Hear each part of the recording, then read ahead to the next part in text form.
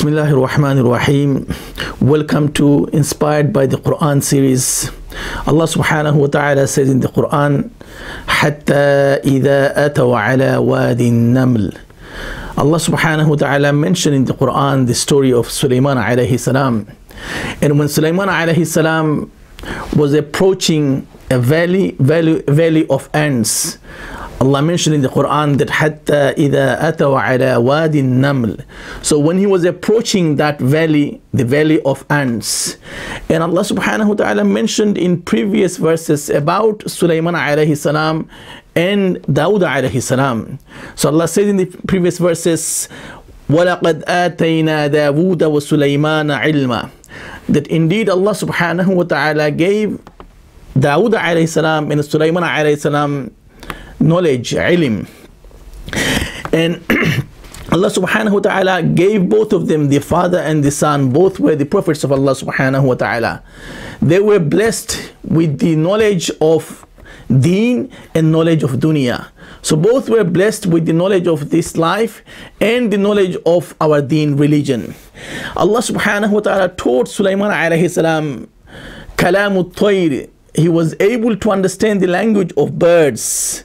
He was able to understand the language of ants. And he was able to understand the language of animals. Not only that, Allah subhanahu wa ta'ala gave him the ability, the power to be able to control the jinn kind and the mankind. Both were managed by Sulaiman alayhi salam. Ma'an nubuwa wal mulk. He was also given the prophethood and the kingdom. So Allah subhanahu wa ta'ala mentioned the story of Sulaiman alayhi salam, Dawud alayhi salam, and then Allah continues by saying that both of them were grateful to Allah subhanahu wa ta'ala. Alhamdulillah alladhi faddalana ala min ibadihi al-mu'minin. That you know they were praising Allah subhanahu wa ta'ala for the favor they were given by Allah subhanahu wa ta'ala over the servants or the believing servants of Allah subhanahu wa ta'ala. So Allah subhanahu wa ta'ala then says, you know, وَوَرِثَ Sulaiman Dawood that Sulaiman alayhi salam inherited Dawood alayhi salam. وَقَالَ يَا أَيُّهَا النَّاسِ and then he said, all the mankind, عُلِّمْنَا مَنْطِقَ الطَّيْرِ That Allah taught us the language of the birds. وَأُوتِينَا مِنْ كُلِّ شَيْءٍ And Allah gave us everything. إِنَّ هَذَا لَهُوَ الْفَضْلُ الْمُبِينَ And that was a great favor from Allah subhanahu wa ta'ala. So Sulaiman alayhi salam inherited his father, the mirath, inheritance. And this inheritance is not the inheritance of wealth.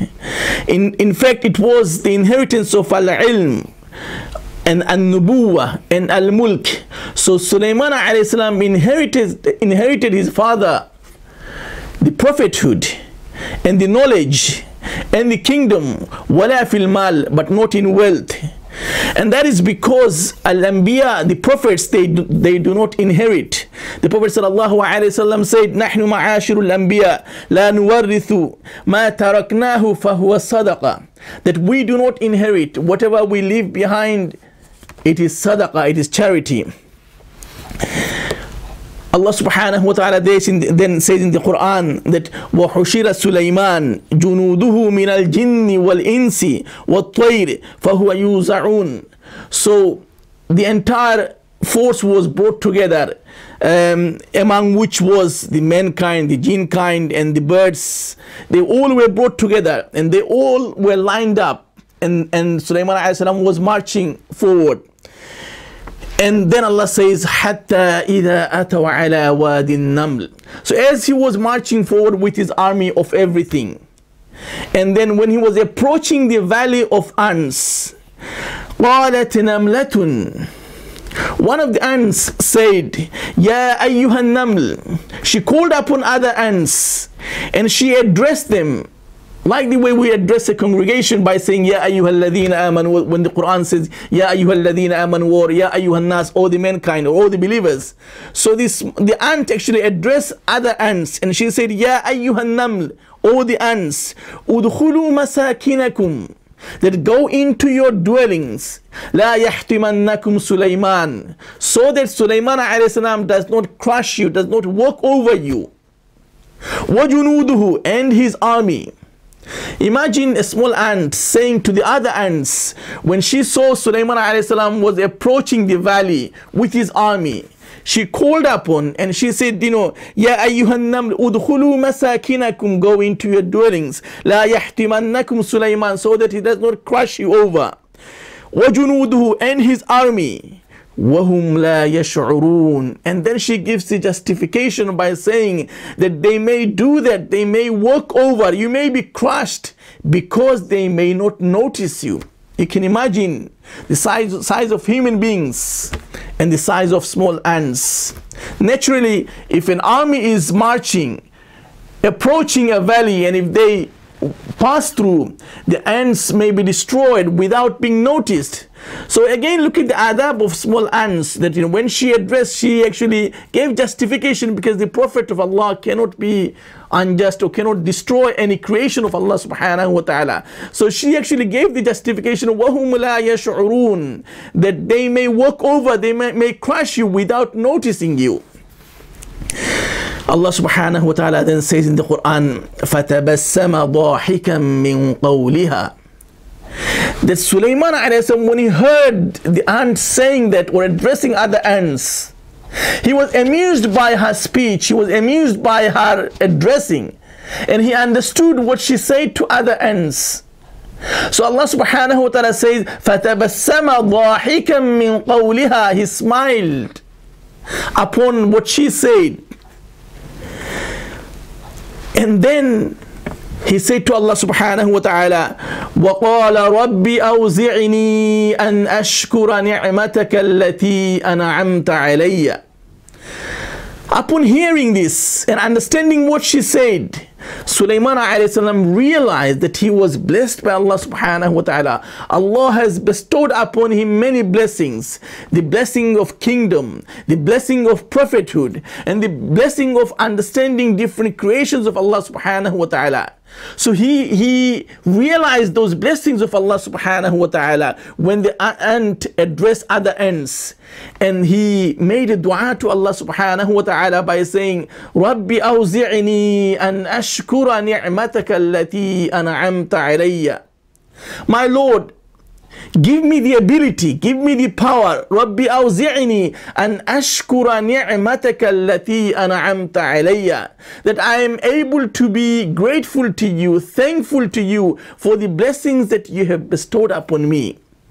This was the dua made by Sulaiman when he understood the language of the ants. And he made the dua of asking Allah to give him the ability, to give him the power, so that he can be grateful to Allah subhanahu wa ta'ala. He can be thankful to Allah subhanahu wa ta'ala for the blessings that Allah has bestowed upon him. What a beautiful lesson for us in this story. That Allah subhanahu wa ta'ala, through the story of Sulaiman alayhi salam and through the story of Ant, Allah subhanahu wa ta'ala is actually teaching us how we should be grateful to Allah subhanahu wa ta'ala, how we should be thankful to Allah subhanahu wa ta'ala for all the blessings that He has bestowed upon us. In life, Allah has blessed us with so many blessings. And the only way we can be happy in life if we can be grateful to Allah, thankful to Allah for those blessings. It is a beautiful dua and Sulaiman could have just stopped there. But he continued. He said after that قال ربي أوزعني أن أشكر نعمتك التي أنعمت علي وعلى والدي that, oh Allah, give me the ability, give me the tawfiq, that I can be grateful to you, thankful to you for the blessings you have bestowed upon me, and also the blessings you have bestowed upon my parents. Again, teaching us how we can be grateful to our parents through showing gratitude to Allah subhanahu wa ta'ala for the blessings He has bestowed upon our parents. Many of us may have our parents alive, and many of, us, uh, many of us may not have our parents alive. In any situation, whether they're still alive or have passed away, We can be can be grateful to our parents if we can be if, if we can show gratitude and our thanks to Allah for the blessings Allah has bestowed upon our parents. Again, he could have stopped there, but he continued.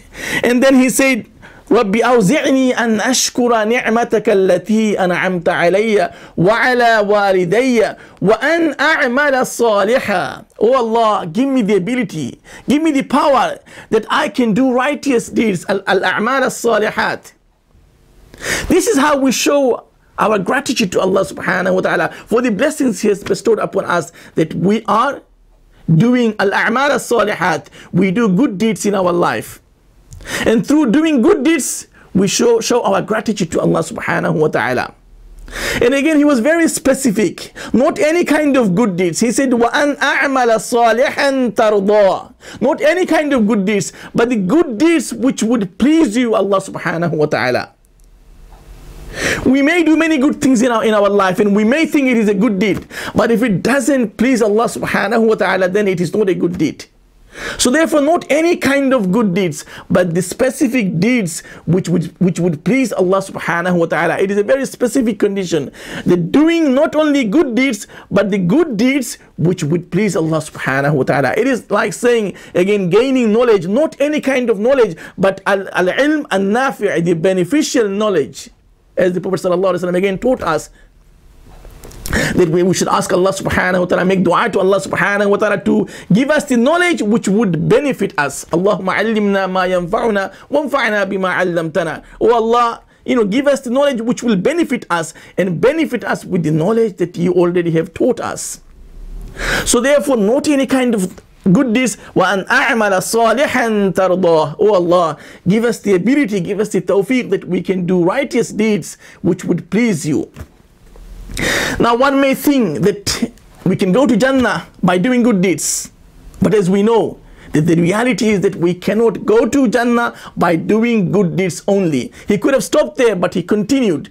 And then he said, وَأَنْ أَعْمَلَ صَالِحًا تَرْضَى وَأَدْخِلْنِي بِرَحْمَتِكَ فِي عِبَادِكَ الصَّالِحِينَ Oh Allah, enter me or admit me into Jannah among your salihin by your mercy with the salihin. So he said to Allah subhanahu wa ta'ala, وَأَدْخِلْنِي بِرَحْمَتِكَ فِي عِبَادِكَ الصَّالِحِينَ O Allah, by your mercy, وَأَدْخِلْنِي بِرَحْمَتِكَ Enter me بِرَحْمَتِكَ by your mercy مِنْ عِبَادِكَ الصَّالِحِينَ with your salihin servants. Because you and I, we cannot go to Jannah by doing good deeds. In order to go to Jannah, we only can go to Jannah by the mercy of Allah subhanahu wa ta'ala. Yes, we need to do good deeds. Good deeds is a condition. But we can never be satisfied. We can never rely upon our good deeds. It is a must, it is a condition that if we want to go to Jannah, then we have to do good deeds. But we cannot go to Jannah by doing good deeds only. While doing good deeds and after doing good deeds, we should be relying upon the mercy of Allah subhanahu wa ta'ala if we want to go to Jannah. And that is the only way we can go to Jannah. So that also teaches us the humility that we can never be arrogant just because we are able to do some good deeds. We should always remain humble in our life and we should always be asking Allah subhanahu wa ta'ala for His mercy. Rahmah of Allah subhanahu wa ta'ala. Now this dua teaches us a great lesson how we can be grateful to Allah subhanahu wa ta'ala for the blessings Allah has bestowed upon us. In addition to that, we should also try to be grateful to Allah while doing the good deeds. We should also try to be grateful to Allah subhanahu wa ta'ala through the specific blessings that Allah has bestowed upon us. Different people may be blessed with different blessings. Some people may be blessed with health. Some people may be blessed with wealth. Some people may be blessed with education. Some people may be blessed, blessed with knowledge. Some people may be blessed with time. Some people may be blessed with skills. So whatever you and I are blessed with, whether health, wealth, time, skills, energy, we should also try to utilize those skills and those blessings and try to be grateful to Allah. Or in, in other words, we should try to be grateful to Allah through those blessings. So if you have the health, utilize the health. If you have the wealth, utilize the wealth so that you know we can attain or try to attain the pleasure of Allah subhanahu wa ta'ala. So using the health, using the wealth, using the skills, using the time for the sake of Allah subhanahu wa ta'ala, worshipping Allah subhanahu wa ta'ala, and sharing the divine guidance of Allah subhanahu wa ta'ala with the humanity who are being deprived from this blessing of Allah subhanahu wa ta'ala. I hope and pray that Allah subhanahu wa ta'ala gives us the tawfiq and gives us the realization that whatever blessings Allah has bestowed upon us, that we're able to show our gratitude to Allah subhanahu wa ta'ala. And if we can do that, Allah will give us more and more. As Allah says, لَإِن شَكَرْتُمْ لَأَزِيدَنَّكُمْ وَلَإِن كَفَرْتُمْ إِنَّ عَذَابِي لَشَدِيد If we can be grateful to Allah subhanahu wa ta'ala, He will be giving us more and more. لَأَزِيدَنَّكُمْ وَلَإِن كَفَرْتُمْ However, unfortunately, if we are ungrateful to Allah subhanahu wa ta'ala, adhabi la shadid. Allah warns us, He says that know that my punishment is very tough, very severe. Jazakallah. Assalamu alaikum.